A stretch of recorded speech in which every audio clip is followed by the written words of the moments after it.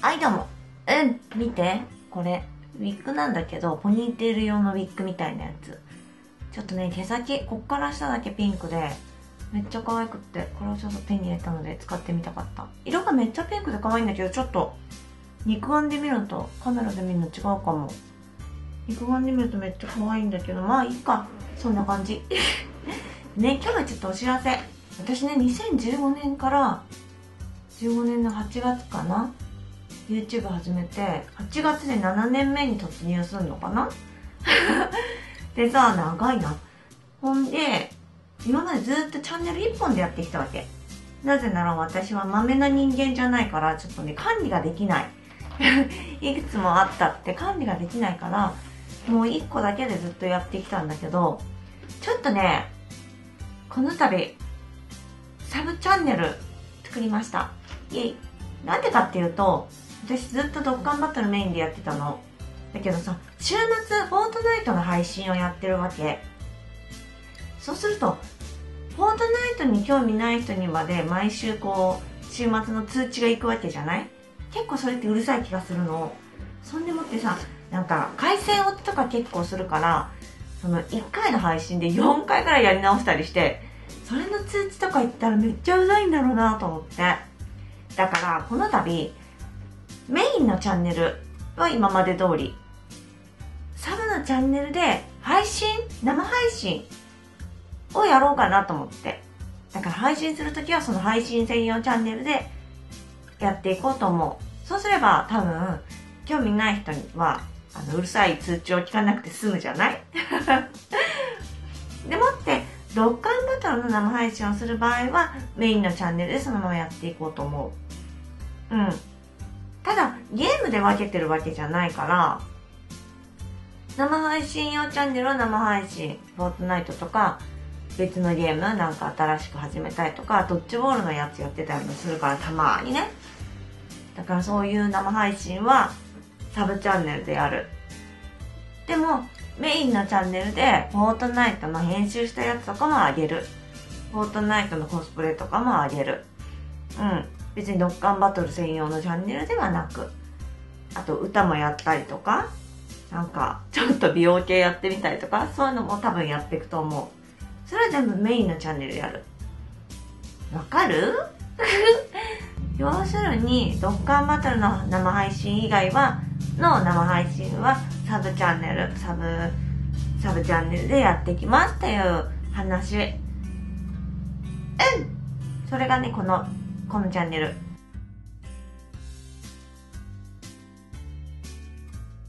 ちょっと主になんかフォートナイト色が強いけど別にフォートナイトだけの配信をやるチャンネルってわけではない。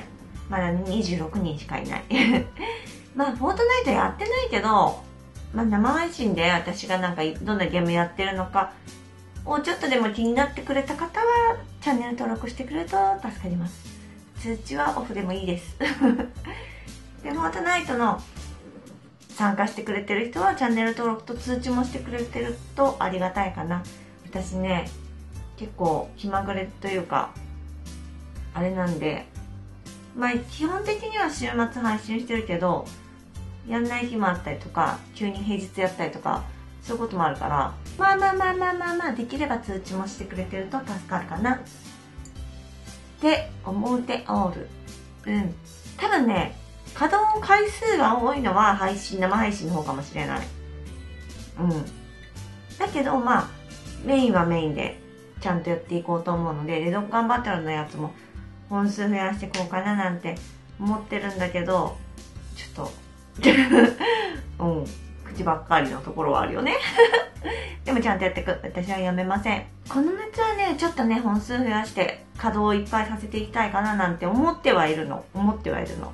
ちょっとねフォートナイトもドッカンバトルもなんかコスプレちょっと目覚めた。楽しい。からこの辺もやっていきたいしあとね最近お歌やってないからお歌もやりたいしあとドッカンバトルもちゃんと本数うんちゃんとやっていきたいと思う。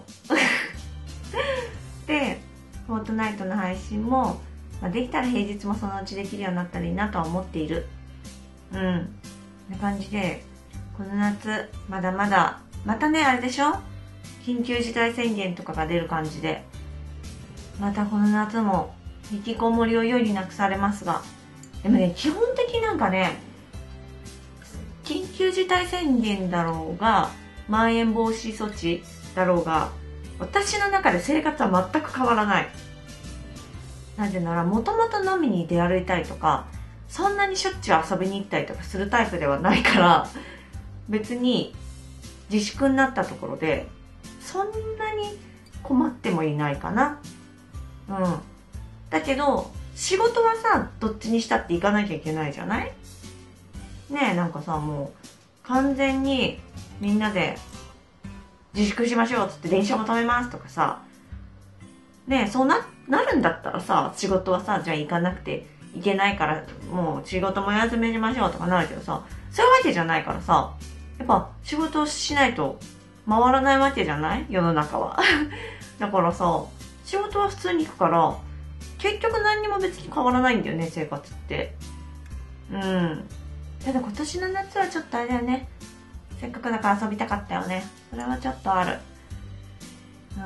なんか緊急事態宣言最初の時にもうほんとゼロまではいかなくてもさ数人10人とか感染した人が10人とかねめっちゃ減るまでゼロに近いぐらいになるまで最初でがっつりやっとけばもしかしたら今もうなかったかもしれないよね。なんかまだ何百人の状態でまた解禁ってなるからまた増えてまた自粛してちょっと減ってまだ何百人いる状態で解禁にするから結局こんな感じだよね。なんか私的にはさこう0か100か白か黒かみたいなさそうが好きだからもうねもう完全に本当に10人以下とかになるぐらいまでちょっともうちょっとあれだよね抑えてほしかったっていうか我慢してほしかったよね。っていう気持ちはある。っていう気持ちはあるけどまあまあまあこれはしょうがない。こればっかりはねいろんな大人たちのいろんな考えとかいろんなね事情とかね立場の違いによっても意見は違うだろうからもうこればっかりはしょうがない。決まったことを受け入れて生きていくのみ。ということで私はゲームの世界で生きていく。よしこの夏もね。まあ外は暑いし。今は梅雨で。雨もひどいし。いいじゃない。家の中で私とゲームすればいいじゃない。ということでね専用の配信チャンネルを作ったから。うん。ドッカンバトルしか興味なくても私にちょっとでも興味あるなって人は登録しといてくれたらすごく喜びます。でそんな感じ。すぐベラベラベラベラ喋って長くなっちゃうからこの辺にしようと思う。うん。ということで今日は私。もうすぐ7年目に突入。今更ながらサブチャンネル作りました。つーお知らせでした。